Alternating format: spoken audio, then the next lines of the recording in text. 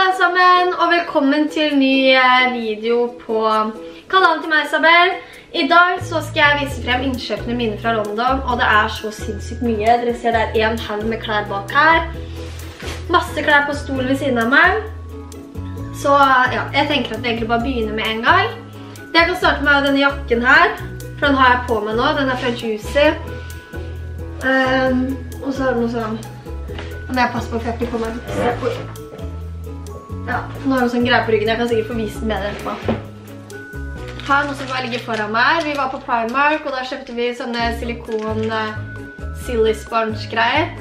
Uh, som jeg Isabel tenkte å vise dere i en video senere. Så, eller egentlig så har vi allerede spilt i den videoen, men uh, ja.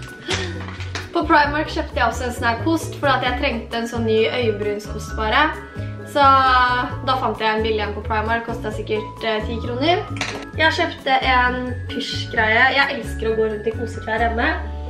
Jeg liker egentlig best å gå undertøy, men det mm, passer seg ikke alltid når jeg har folk her og sånn. Kjøpte jeg denne pysjen her, som er fra Primark. Og den også kostet vel sikkert ikke så veldig mye. Jeg har ikke priser på alt, for jeg har ikke kvittering, nei, jeg har ikke merkelapp på alt lenger. Men jeg tipper det har sikkert kostet rundt 50 kroner sammen. Og så kan jeg vise dere buksa som Isabel glemte å vise i videoen sin. Og det er, for den kjøpte vi lik. Og det er en sånn her bukse som er helt svart. Så er den sleng nederst. Det er på en måte sånn yoga-pants-greier. Jeg bruker den jo veldig mye nå hjemme når jeg bare går rundt og daffer her. Men hvis jeg bare skal på butikken også, men jeg tror den her hadde blitt veldig fin til litt finere klær også. Jo, den er forresten fra Topshop, den buksa der, og den kostet, altså jeg aner ikke, men sikkert sånn 200 kroner. Og så kjøpte jeg et skjørt på Forever 21. Kostet 16 pund. Det ser sånn her ut. Så kjøpte jeg et annet skjørt på, oi, der er den satt seg fast, på Forever 21. Det kostet 13. Det er bare et helt vanlig Ola-skjørt, som er litt, litt lenger bak, men jeg likte det egentlig veldig godt, for da, ja, så at rumpa slipper å henge utenfor. Så kjøpte jeg shorts på Bershka, og den kostet eh, 13 pund. Og det er bare en helt vanlig hvit shorts. Så kjøpte jeg også den her. Don't stress, do your best. Den er også, eller den er fra Stradivarius. Så kjøpte jeg også en snær til å ha passet i. Den har kjøpt Isabel også. Men det er til å ha pass i, og så er det med en sånn lapp på kofferten, og den kostet 9 pund. Så kjøpte jeg en bukse fra Stradivarius, det er den Isabel også kjøpte. Den er faktisk skikkelig fin på, og den kan også brukes til hverdags, men også som en joggebukse. Med en litt finere joggebukse. Så kjøpte jeg et sett fra Topshop. Men det var litt dyrere. Den her kostet 45, det er en shorts. Og til den så fulgte den med en jakke, og den mener jeg kostet rundt... Med en jakke, og den mener jeg kostet rundt 60-70 pund. Så det settet her var ganske dyrt, men jeg synes det var veldig søtt og veldig sommerlig. Og den jakka, den ser, skal vi se, sånn her ut. I hvert fall hvit med noen sånn blonde greier og rysjer på armene og ja, en veldig søt jakke. Jeg hadde den på meg sist jeg var ute. Så den liker jeg veldig godt, og den var veldig fin med denne shortsen også. Så jeg gleder meg til jeg får brukt det. Så kjøpte jeg en til jakke fra Topshop. Den her mener jeg kostet rundt 400-500 kroner. Det er en eh, jakke. De ser jo ikke fine ut når jeg har det sånn her. Men jeg kommer til å bruke det, og da kommer det til å komme et bilde på bloggen også. Og den her har med sånne store armer. Det ligger faktisk noen bilder allerede av den her på bloggen. Så kjøpte jeg en jakke på Primark, og det kjøpte jeg egentlig bare fordi jeg hadde på frysehjelp. Fordi at jeg begynte å bli dårlig siste dagen vi var i London. Eller de to siste dagene eller noe. Og da frøys jeg seriøst hele tiden, da jeg hadde på meg mye klær. Så derfor kjøpte jeg bare en sånn enkel svart jakke på Primark til sikkert 30 kroner. Og så kjøpte jeg den her. Den er fra River Island og kostet 28. Eh, det er en sånn stor skjortekjole som er sånn åpen stropp her, så man får bare skuldre, og den her er sinnssykt fin på, men jeg tipper den blir enda finere hvis man har et belte i livet, bare et tynt belte, eller en snor i livet. For den er ganske sånn skjorteskjole, og så trenger den en stryk også før den brukes. Men den var veldig, veldig fin på. Og så kjøpte jeg en bluse fra Forever 21, og den kostet 16 pund. Det er en silkebluse som er i sånn beigeaktig silkestoff, gullaktig. Som er sånn som går over sånn her da. Så man får bare skuldre der også, gitt. Så kjøpte jeg en body fra Topshop som ser sånn her ut. Og så er den helt åpen i ryggen. Det er liksom sånn...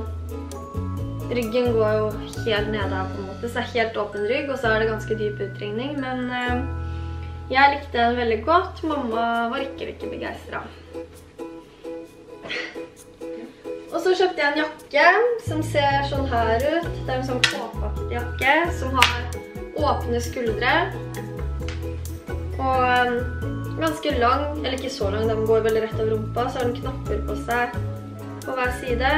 Jeg elsker jo kombinasjonen av svart og gull. Jeg bruker det hele tiden. Så når jeg fant en jakke her, så ble jeg veldig glad. Og den forrige jakka er forresten fra Topshop. Men den her mener jeg kostet 65, tror jeg. Men det er i hvert fall en jakke fra River Island, og um, det er sånn litt sånn militærjakkeaktig. Men den her er beige, og så har den diamanter på seg på lommene og på skuldrene. Så jeg likte at den skilte seg litt ut da med disse diamantene, og jeg er jo glad i glitter også, så passet er perfekt. Hvitt olafskjørt, det er fra Topshop.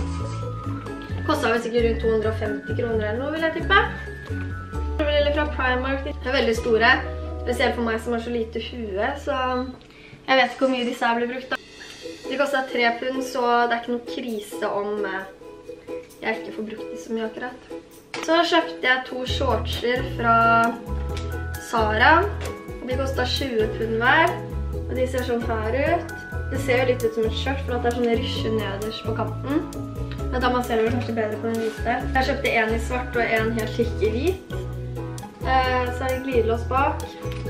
De koster 20 per stykk, og de tror jeg blir kjempefint i sommeren hvis man skal ut, eller... Jeg kommer til å ha med meg mye av dette her til Spania, så da kommer jeg til å ta bilder til dere, sånn at dere får se det ordentlig på. Og så noe jeg alltid kjøper på Primark, det er sokker, fordi at man trenger alltid hvite sokker. Og de her på Primark, da får man syv par hvite sokker i en her, og de koster to pund. Så det er liksom 20 kroner for syv par sokker, og de holder seg faktisk ganske lenge fine også. Så hver gang jeg er i London, eller et sted der Primark, så kjøper jeg alltid med meg to-tre sånne her. Så jeg har jo sikkert 150 par med hvite sokker, men um, får aldri nok. Så kjøpte jeg noen armbånd på Primark, men ja, de var jo fine. Jeg husker egentlig at jeg plukket med meg disse. her, Det er så mye jeg bare tenker sånn. Så kjøpte jeg meg truser Primark. Så jeg kjøper alltid også masse truser på Primark. Så kjøpte jeg en choker på Nei, Forever 21. Jeg kjøpte to, men den andre vet jeg ikke hvor jeg har blitt av. Og da var det sånn at man kunne kjøpe to stykker for 5 kroner, tror jeg det var. Og det var egentlig den andre jeg hadde lyst på. Men så måtte jeg ta noen andre, og dette var liksom den fineste av de, så da tok jeg bare dem. En svart med en gullring på. Så kjøpte jeg masse sko på Primark. Da kjøpte jeg først disse her. Og det var egentlig bare fordi at uh, jeg vet ikke hvorfor jeg kjøpte de. Det var mamma som sa jeg burde kjøpt de. Uh, men det er veldig liten hæl på de, og så er de bare svarte vanlige. Og så kjøpte jeg disse sandalene her, som er fra Forever 21, tror jeg. Bare helt vanlige sånne sandaler i beige og gull. Så kjøpte jeg noen sandaler i sølv fra Forever 21. Det har kostet um, 9 pund. Og de her er i sølv. Og så kjøpte jeg et par i gull fra Primark. Så de kostet vel sikkert ikke så mye de heller. Sikkert 50 kroner. Og så kjøpte jeg bare et helt par vanlige ballerinasko. Det kjøper jeg alltid også ned der. Disse har jeg brukt en del nå. Men det er alltid greit å ha sånne svarte ballerinasko. Så kjøpte jeg en helt vanlig svart kjole på Primark. Den her tenkte jeg egentlig bare ta over meg når jeg skal på stranda og sånn. Kostet 4 pund. Så kjøpte jeg og Isabel eh, sånne her nettingstrømpebukser i to forskjellige størrelser på hullene. Ehm, jeg vet ikke når jeg skal få bruk for disse her, men ehm, jeg har kjøpt det. Jeg kjøpte en veske fra River Island. Den her kjøpte Isabel også, og det gjorde vi bare for at vi trengte en liten veske bare sånn til å ha med oss. Fy faen, så harry de ser ut som de blomstergreiene. Det er Isabel som har spilt inn noen videoer, så um, da tenkte jeg at jeg skulle pynte litt i bakgrunnen, men det ser jo bare skikkelig hard ut. Men ja. Denne vesken her, den husker jeg ikke hvor mye kostet, den. jeg tror Isabel sa det i sin video. Uh, men den var ikke sånn veldig dyr, men den var veldig, veldig fin, og den passer perfekt til disse her sandalene. Her fant jeg ut etterpå. Det er helt samme farger, det er liksom gull og beige. Så det har jeg allerede brukt sammen, for å si det sånn. Jeg kan vise den her først. Det er en choker fra Primark som kostet 1,5 pund. Det er bare en sånn, med en sånn glittergreie foran. Og så fant jeg Isabel disse store beautyblenderne, og da var jo vi solgt. Så de her måtte vi selvfølgelig ha med oss. De er jo... Altså, dere kan se forskjellen på en vanlig beautyblender. Eller nå er den her bløt opp, da. Dere ser jo forskjellen. Altså, rett etterpå, når vi hadde kjøpt de, så fant vi ut at dette er til eller er en sånn bodyblender da, som er til kroppen. Det står jo faktisk på den også at det er til kroppen, men det så jo ikke vi. Men vi så ikke det da, så um, det har funnet ut av ettertid. Ikke at vi sminker kroppen så mye, men uh, ja, ja. Så er det denne blusen som veldig mange har spurt om hvor er fra. Og den er fra Miss Selfridge. Og uh, der kjøpte jeg noen veldig søte topper. Men det var litt dyrere der. Mener jeg husker, jeg husker ikke, men jeg tror det var litt dyrere der, men jeg er ikke helt sikker på prisen. Den her er i hvert fall veldig søt, det er sånn som går over skuldrene. Det er masse bilder av den på bloggen, for jeg har brukt den mye allerede. Og også på Miss Selfridge. Denne blusen her, den kostet 35 pund. Det er en hvit sånn her bluse med noe brysjegreier på, i blonde. Sånn ser den ut. Og også på Miss Selfridge, det var den siste tingen jeg kjøpte på Miss Selfridge.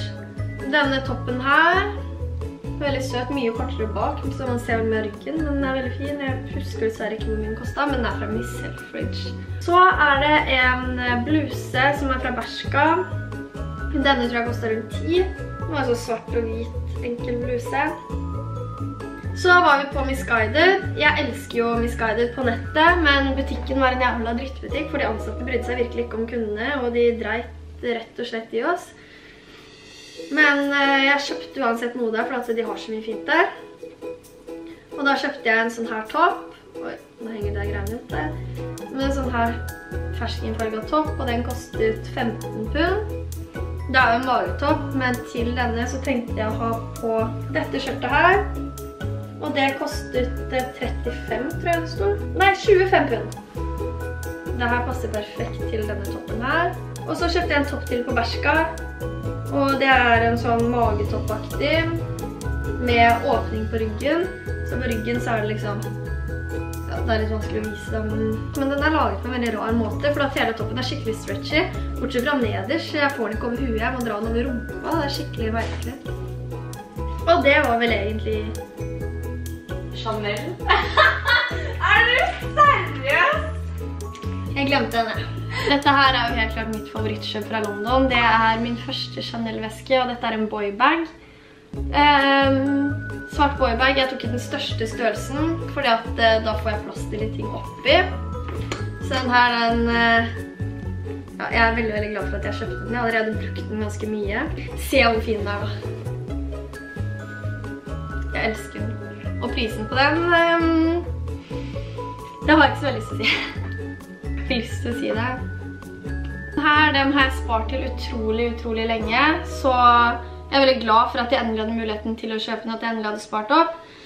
Så jeg kunne ikke vært mer fornøyd med denne vesken her, og den her kommer jeg til å ha resten av livet, og så kommer sikkert ungene mine igjen hvis jeg får den noen gang til å arve den, så det her er et uh, kjøp jeg er veldig fornøyd med, og helt klart ikke min siste Chanel-veske, for å si det sånn.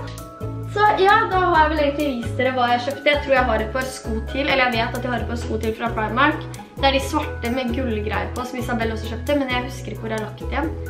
Så, um, ja, så hvis dere lurer på hvordan de ser ut, så er det bare å gå inn på Isabel sin um, innkjøpsvideo. Dette var egentlig det jeg kjøpte. Så håper jeg dere likte videoen. Gjerne abonner på kanalen vår, og sjekk ut bloggen min og Instagram min, som dere finner her. Og Lik også videoen om dere likte denne videoen. Ok, så ses vi snart igjen. Ha det bra!